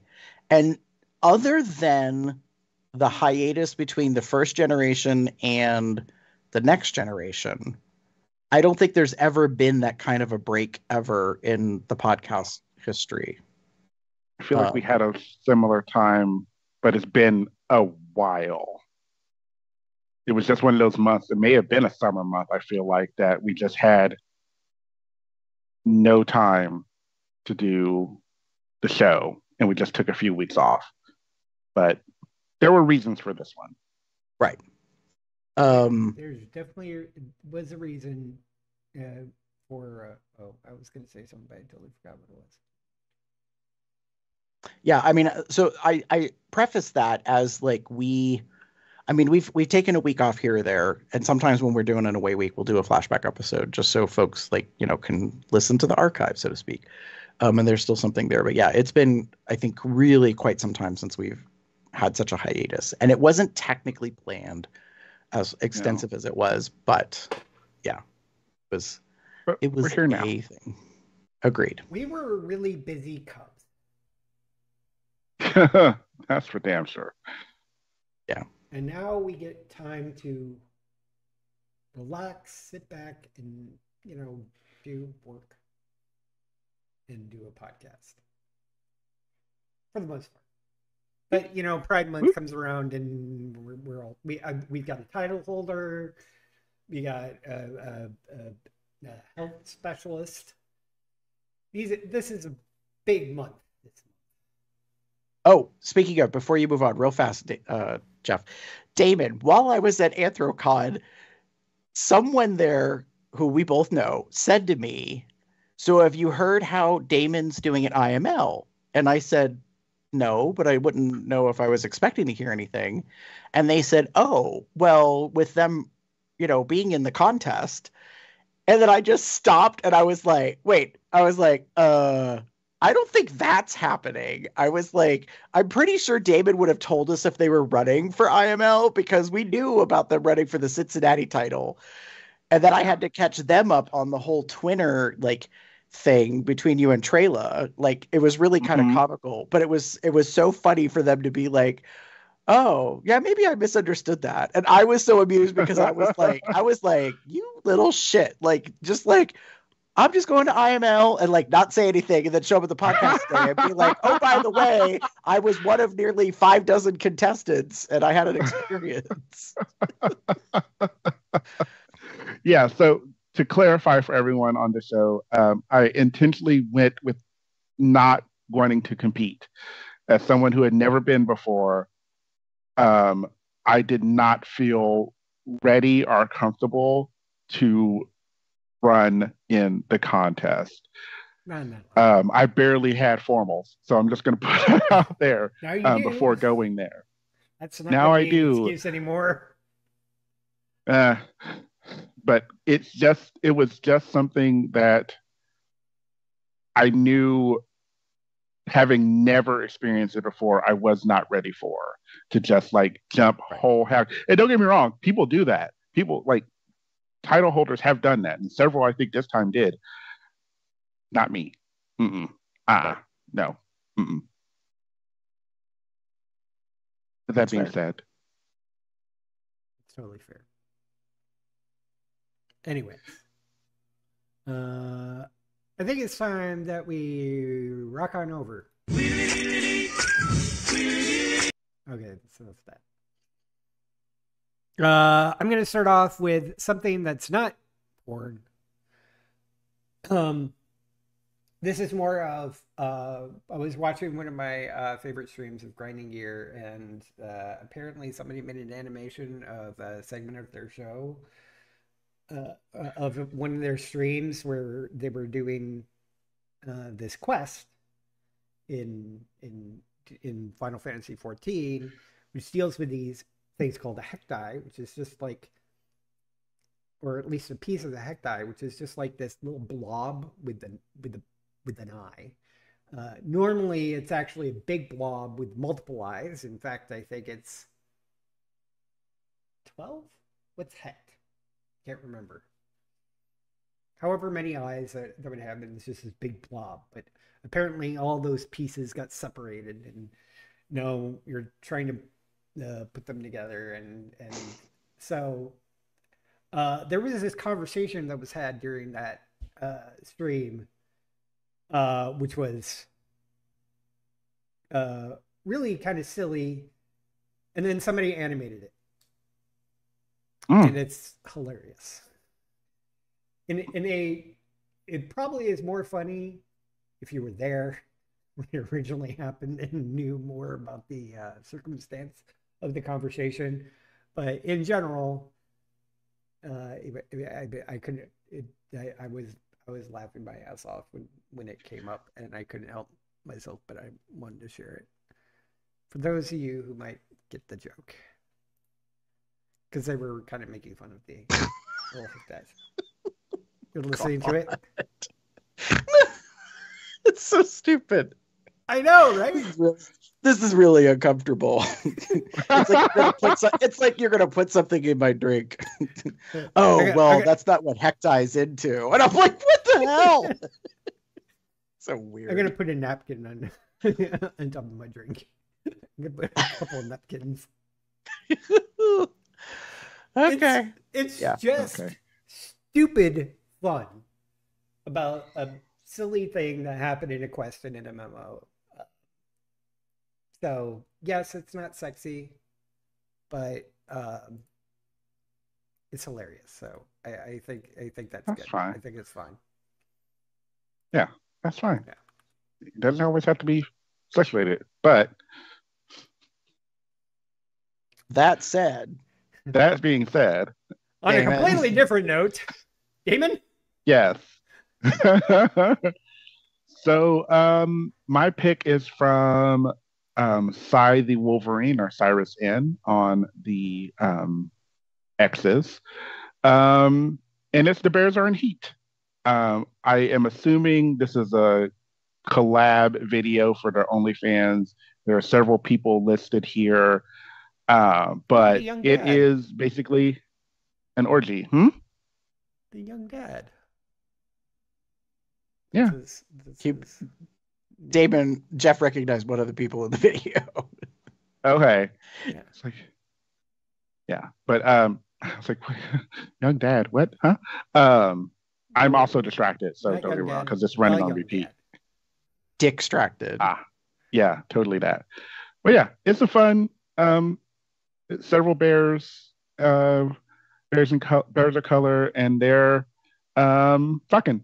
Just keep it simple. Like they're they're they're having a grand old time, and it looks like a lot of fun. And um, it yeah, I'm I'm loving every bit of it. It just looks like this would be a great um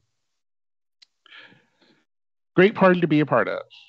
This damn, might be a good reason to join uh Cy the Cy the Wolverines uh OnlyFans to get the full video. Yeah. absolutely, yeah. Because I actually um, I didn't meet him. I saw him at IML. One of them, uh, probably a few more, probably might have been there too. But I know one of them at least was. So Um, speaking Yeah. of which, follow.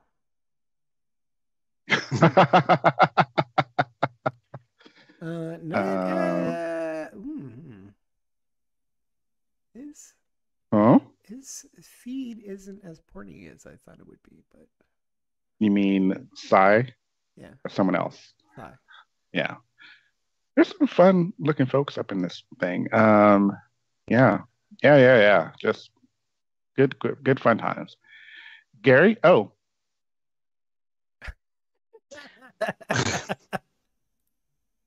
yes, Damon.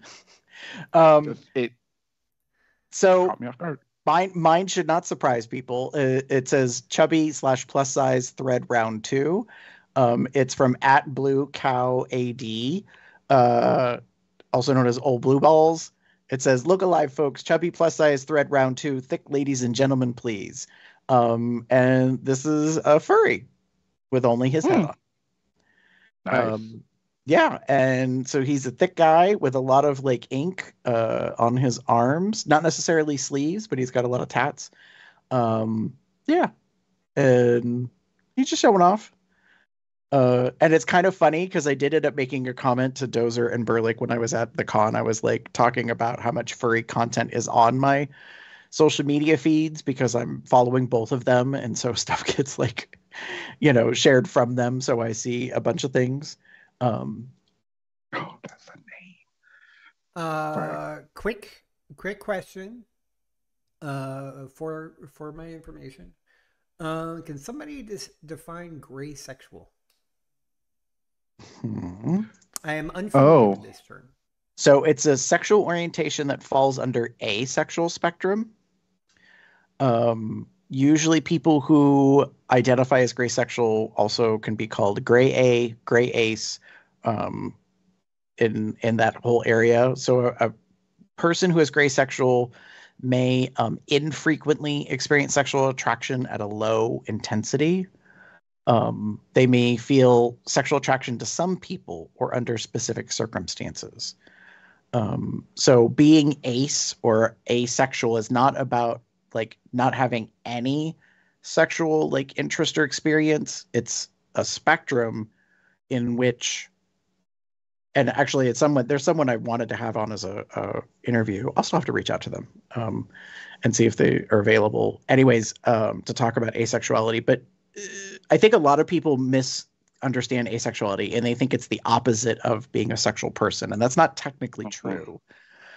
Asexuality is an individual who just doesn't really have much of a sexual attraction or like libido or interest. Libido is probably not the right way to word to say, but it's they're very much outside of what was promoted, I think, as our community I referenced earlier about people being hypersexual Right. or having interest in sex. Um, so I think that the the concept is is that people see sexuality a lot as like black or white, meaning like either you are sexual or you're not sexual. And so Mhm. gray is the in between. Like they don't really fall into Kind of one or the other, so they're they're not really you know, a person that experiences sexual attraction, but they also aren't repulsed by it or like shun it. Does that make sense? Mhm.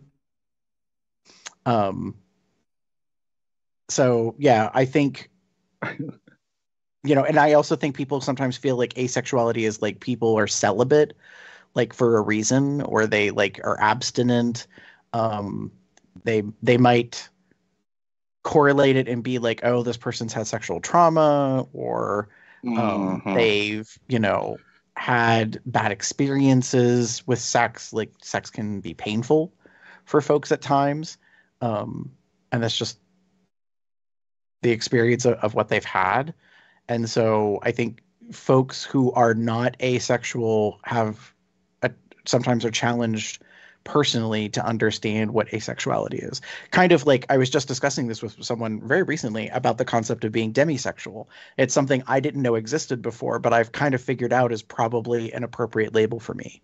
Like, while I am interested in other people and I would probably have casual hookups, it's not something I really pursue because I realize that I want to have a connection with another person that I'm going to probably have sex with. Right. Now, that isn't to say, because trust, I have hooked up in the past. I have been to adult bookstores. I have sucked dicks through glory holes. Like, I am not like saying that that isn't a thing, but I've realized that I don't do that that often. And that when I was doing the majority of that is when I think I was in like an addictive behavior, like Mm. moment of my life, a chapter where like I was using sex as a way to have connection with other people. And now looking back on it, I'm like, oh, well, that might also be like an indicator that I'm demi. Like I want to feel like when I'm with another person that like I kind of know them in some fashion. Um, and it's not just about that seven minutes or whatever. In So some speak. sense, you could say that all sexuality is on a spectrum. Absolutely. I think that's fair. Yeah. because Um, even and and e- you can even move along that spectrum at times. Right. Sometimes you feel like it, And- sometimes you don't. Yeah. And I But, think um, that um, as I'm thinking about it just now as I was saying it, I think some people might think that Demi and Gray are similar, but they're not in my opinion. Like Demi is about having a strong attraction to a person. It's usually an intellectual or an emotional bond, like something that really stimulates you about the other person and it's not necessarily physical or just physical. Right. So, and that's something I had to figure out is like, yeah, the people I'm more likely to be sexually attracted to have also like kind of sparked something within me. Like I think that they're like um emotionally intuitive, they're intelligent, they are creative. Like there's something about them. It's not just the physical um aspect of that. So yeah. Good question. Moving on into the links, Damon, what do you got? Um, so I haven't seen all of the episodes, but Bridgerton is back. Um, if Mm. you've been um, following um, this popular Netflix show, um, this is now its third season. Um, essentially, it is taking, um, oh, I was going to say turn of century, but that's not. I think it's Regency era, um, London, um, and um, adding a very unique layer onto it. It follows this family um, and the seven, you know, siblings, um, and kind of goes through all of their, you know, going into society and and finding love and romance and all of those things. Um, and it's just been it's been a lot of fun. It's been a, I've been enjoying it since I started watching it. I think it came out in 2020, if I remember correctly. Um, and for right now, they just have the first four episodes of the season out, and the next four will drop later this month. Um, um, I just I've really I've really been enjoying it. I'm really loving the show. I'm loving what they're doing. This particular season, they're focusing on um, the third brother of the Bridgerton family and his friendship with their neighbor's daughter. Um, and there's a lot more going on. Everything else, it's just been it's been very unique, and there's a lot of stories. There's a whole other plot thread. There's several plot threads going on, um, and they're doing it in a tasteful, unique way. hmm Yeah. So, yeah. Give it a watch. Let me know your thoughts. Good deal. Gary. Gary. Uh, for those that don't know, over on Paramount Plus, Star Trek Discovery had has concluded its final season, um, which is kind of sad. But Mm. uh, I suggest you go check it out. If you if you did like enjoy Discovery at all, or maybe you like stepped away from it, I suggest you go back and at least see the, the series through to the end.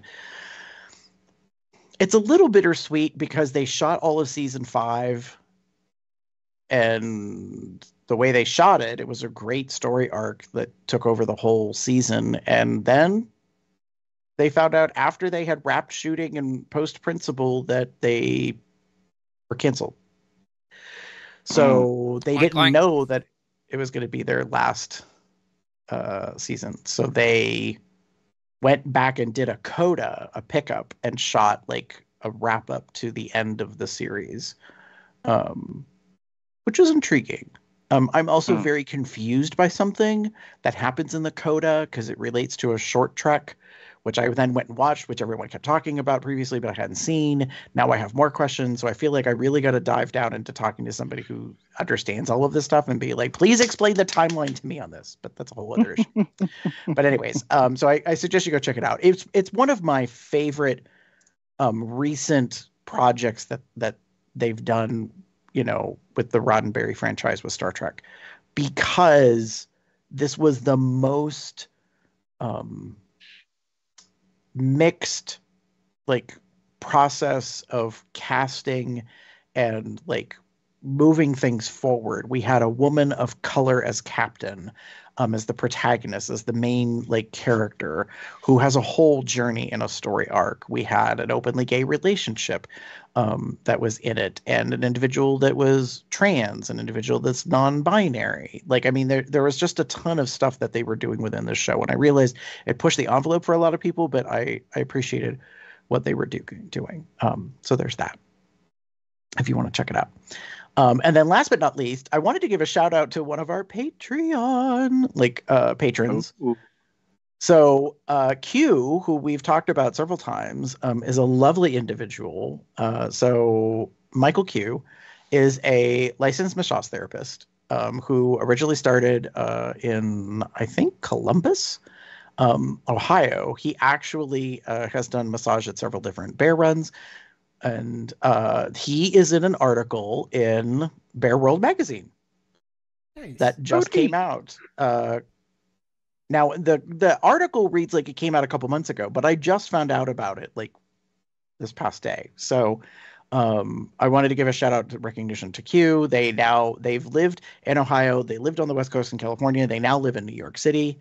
Um, and they have a body positive massage therapy service, and that's what this article is about. Is about like massage for bigger people and why uh, Q went the route that they do and they promote themselves as a body positive massage practitioner. Um, and uh, Q's just a really beautiful individual. And um, Yes. I haven't seen them in quite some time. Uh, it's been a number of years, but they are a great individual. And I'm very happy that they got the recognition the, of the article and that kind of stuff. So I put that link in there if people are interested in reading it. Uh, one comment is uh, he has a very Lionel Richie smile. A Lionel Richie smile. Oh, yeah, I see what you mean. Interesting. Um, yeah. So I actually, it was funny because now Q is so close, well, closer than the West Coast. So I was like, even thinking to myself, I'm like, is there any way I can figure out how to get over to have a massage done? Um, because Q talks about the fact that there aren't that many massage therapists that are comfortable with bigger people. Um, and he talks about the equipment and like some modifications and stuff and, you know, how people have been treated. And um, even like, you know, uh, massage therapists of color um, are in limited uh, amount of, of practice and availability. So, yeah, I, um, I really, really appreciate their endeavors to um, you know, do something that is much needed because it doesn't matter what your body size is. Everybody needs an ability to relax themselves Very in true. therapeutic environments. So yeah, there's that. Nice. Well, there you have it, folks. After all that, thank you for staying with us. We appreciate that. And especially after this bit of a hiatus. We want to hear from you. We do. Absolutely. You can do that in many ways, such as going to our website, leaving a comment on our blog at cubsOutLoud.com, shooting us an email at cubsOutLoud at gmail.com, leaving us a voicemail at 361 COL Talk. That's 361 265 8255. You can follow us on Facebook, Twitter, aka X, and YouTube at Cubs Out Loud in the appropriate place in the URL. You can even join our Entourage chat at bit.ly slash telegram dash COL. You can find out when we're planning and recording these shows at bit.ly slash calendar dash COL and subscribe to our Google Calendar and can get various accoutrements such as a Consent is My Foreplay shirt in many different styles. Over on Zazzle on Zazzle.com slash cubs out loud, as well as various other accoutrements. Uh, some of those designs, such as Consent is My Foreplay design, was done by Smashy. You can find more of his work at teepublic.com slash user slash Smashy the Bear. You can also become a patron at patreon.com slash cubs out loud or send us a donation at paypal.me slash cubs out loud. You can follow us on many podcasting platforms, including Apple Podcasts, YouTube Podcasts. In fact, we do have a podcast section of our YouTube page. And over on Spotify, you can find me anywhere on the internet as Box Step Box Puppy Box Cup Box something or other. Damon. Okay, fuck you. Sorry. Not you. Just it I hit the button like twice and it unmuted it muted me and then unmuted me and then muted me again. Anyway, um, if you wish to get in touch with me, you can find me at Theatre Cub 79. That's T H A E fuck. T H E A T R E C U B 79 on um, most of related sites are on Facebook. You can find me as pup underscore umber on Twitter or pup umber 79 on Blue Sky. Both those are not safe for work. For the safe for work stuff, you can go to DMA Gamer 79 on Twitter or TikTok. Gary, you're muted, Gary. See, I pulled a Damon. So if you want to get in touch with me, you can pretty much find me anywhere online as Gamer73. And with that, say goodnight, everybody. Good night, everybody. Ciao for now. Bye.